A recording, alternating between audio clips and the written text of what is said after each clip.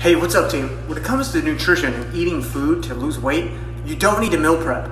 For some reason, meal prepping and the idea that you need to have a week's worth of food all cut out and prepped out for your week uh, has become synonymous with getting fit. And in reality, this has no bearing on whether or not you're skinny or fit or ripped or shredded or any of that. It's just a way to sell you the idea that you need to buy a six pack bag or you know have these amazing little boring Tupperware pre prepared dishes for you.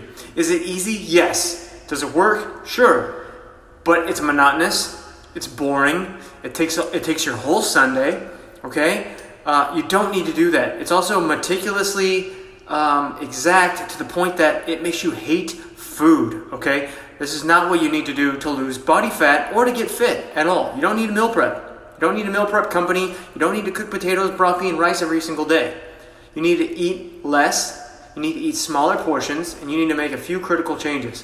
No alcohol. Stop drinking sugar. So, no Starbucks Frappuccinos, no milkshakes, no sweet tea, no soda. Stop eating fast food. Stop eating candy. Stop eating nuts. Stop eating chips. No hamburgers, no pizza. Okay? Just get rid of all that stuff. Eat normal food like your grandma used to cook. Smaller plates.